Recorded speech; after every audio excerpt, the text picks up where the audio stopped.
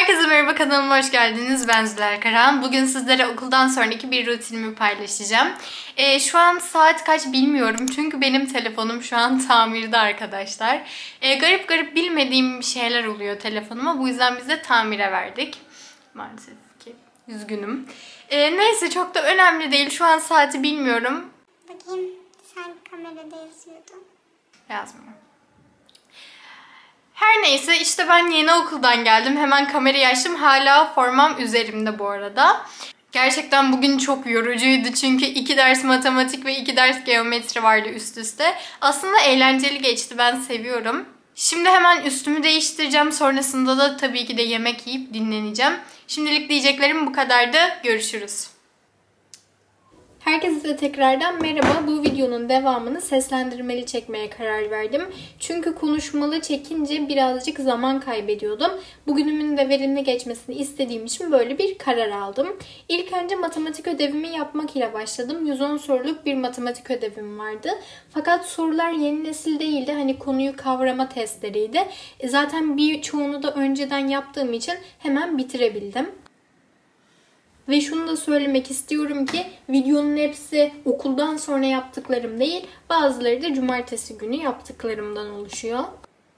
Testimi çözdükten hemen sonra kontrol ediyorum ki yanlışlarımı sıcağı sıcağına öğrenebileyim ve ardından yanlışlarımı hemen vakit kaybetmeden çözebileyim diye. Yanlışlarımı tekrardan çözüyorum ki doğrularını öğrenebileyim. 8. sınıflara tavsiyem de kesinlikle yanlışlarınızı hemen ardından çözmeniz. Çünkü ben mesela yanlış yaptıktan sonra yanlış sorularımı biriktireyim sonra çözerim diye düşünüyordum. Fakat asla böyle bir şey yapmanızı tavsiye etmem. Sonrasında illaki o yanlış yaptığınız sorular kalıyor ve asla tekrar çözemiyorsunuz. İkinci bir şey daha söylemek istiyorum. Yanlış yaptığınız sorunun eğer doğrusunu kendiniz bulamazsanız QR kodunu okutup konu videosunu izlemeniz veya okuldaki öğretmeninize, dershanedeki öğretmeninize veya özel hocanıza bu yanlış yaptığınız soruyu sormanız kesinlikle sizi bir adım öne atacaktır. Ben de çok bilgili miyim ki bu bilgileri sizlere veriyorum? Hayır, sadece tecrübeliyim. Bu arada bu sırada da kahve yapıyorum. Bu Starbucks'ın paket kahveleri var. Migros'tan almıştım. Tadları gerçekten çok güzel. Kesinlikle denemenizi tavsiye ederim.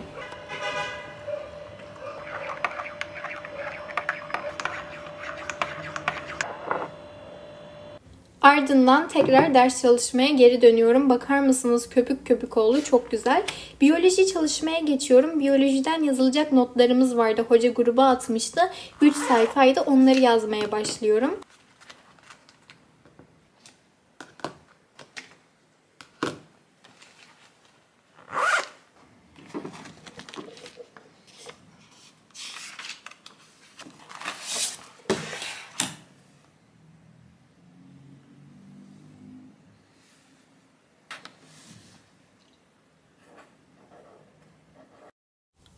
Dışında biraz da 9. sınıf dersleri hakkında konuşalım.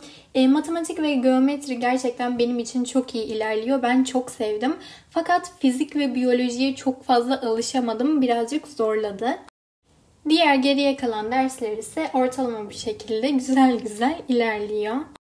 Sizin dersleriniz nasıl ilerliyor? Sadece 9. sınıflar değil 8. sınıflar da yazabilir. 8. sınıfa alışabildiniz mi? Dersler zor mu? Nasıl bir tempoya girebildiniz mi? E dediğim gibi bunların hepsini yorumlara yazabilirsiniz.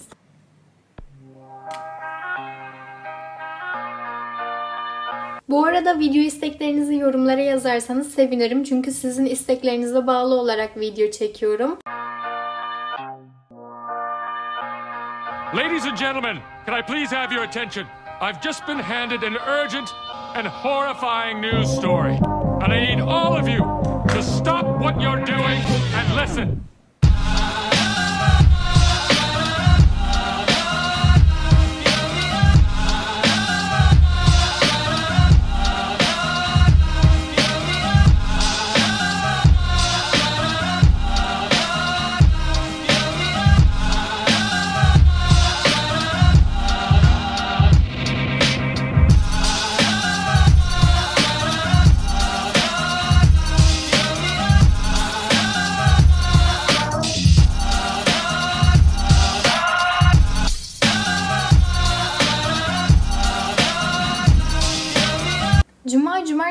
Pazar için ajandama bir plan hazırlamıştım. Şimdi ise yaptığım maddelerin üstünü çizeceğim. Bu şekilde plan yaptıktan sonra maddelerin üstünü teker teker çizmek içimi çok rahatlatıyor. E, çünkü bir süre sonra hepsi bitiyor ve artık kafamda bir şey kalmıyor. Kendime vakit ayırabiliyorum. Şimdi ise tekrar matematiğe geri döndüm. E, matematiğe geri döndüğümün nedenini şimdi sizlere açıklayacağım. Biliyorsunuz ki ben okula sonradan geldim ve sonradan gittiğim için de hoca daha öncesinden birkaç soru yazdırmış. Hatta birkaç değil 42 soru yazdırmış. E, bu yüzden ben de bu soruları yazıp çözmem gerekiyordu. Ablam sağ olsun soruları yazdı. Çözme işlemini de tabii ki de ben yaptım. E, soruları burada dediğim gibi çözüyorum. Bu arada bu sorular da yine yeni nesil sorular değil, konu kavrama soruları. Bu yüzden bu kısmı da hızlıca atlayabiliyorum.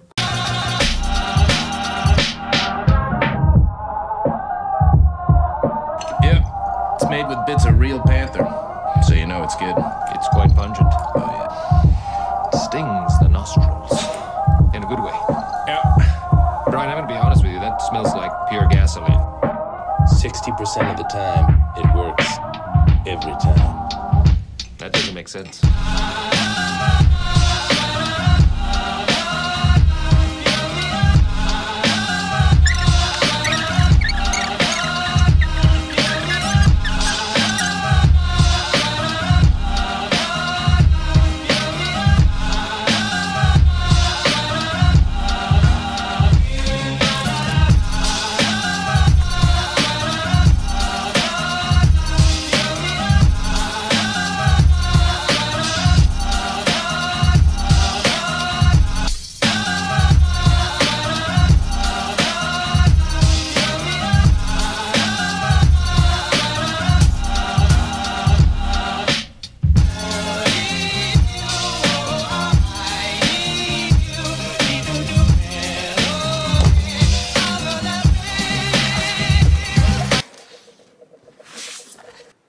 Maddenin daha üstünü çizebilmek için ajandamı çekmecemden çıkartıyorum.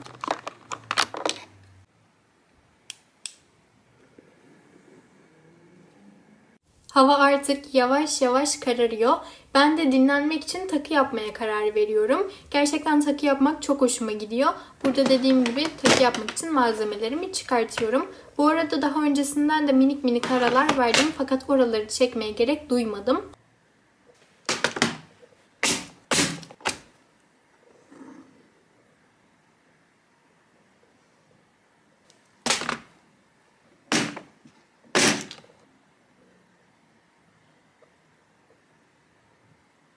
Aslında çok güzel takı fikirleri var aklımda. Fakat onları gün içinde yapmamak için kendimi zor tutuyorum. Bunun nedeni ise başka bir video çekmeyi planlıyorum. E, estetik gıy trendlerini deniyoruz. iki gelmeyecek. E, o videoda işte takı yapmayı planlıyorum. Ama ne zaman çekeceğimi inanın ben de bilmiyorum.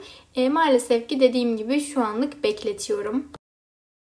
Beklettiğim için de şu an daha basit takılar yapıyoruz. Daha basit bilezikler, kolyeler yapıyorum. E, şimdi ise bir tane ipli bir nazar boncuklu bilezik yaptım. İkinci olarak da ona uygun boncuklu bir bilezik yaptım. Zaten şimdi göreceksiniz.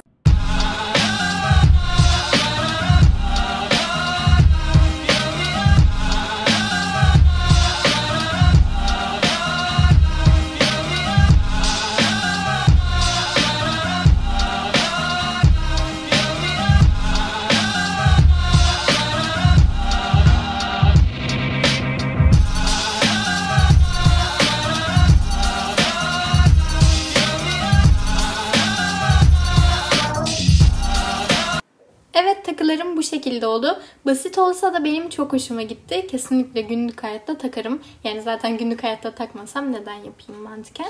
E, şimdi ise kitap okumaya başlıyorum. Bununla da Findle adlı bir kitaba başladım. Doğruyu söylemek gerekirse birazcık çocuk kitabı. Fakat kütüphanemde okunmayan kitaplar arasında kaldığı için çocuk kitabı olsa da ben okuyayım bunu dedim. Konusundan da bahsedeyim. Bir tane Nick adında çocuk var ve işte böyle hani sınıfın yaramaz çocuğu olur ya ders kaynatan. İşte o çocuk bu çocuk ve kaleme Findle demeye başlar. Ondan sonra da işte gelişen olaylar diyeyim. Ve videoyu burada kapatayım. Diğer güzel videolarda görüşmek üzere. Kanalıma abone olmayı ve videoyu beğenmeyi unutmayın. Aynı zamanda Instagram hesabımda Zulal Karahan 2 ne ile oradan da takip edebilirsiniz. Görüşürüz.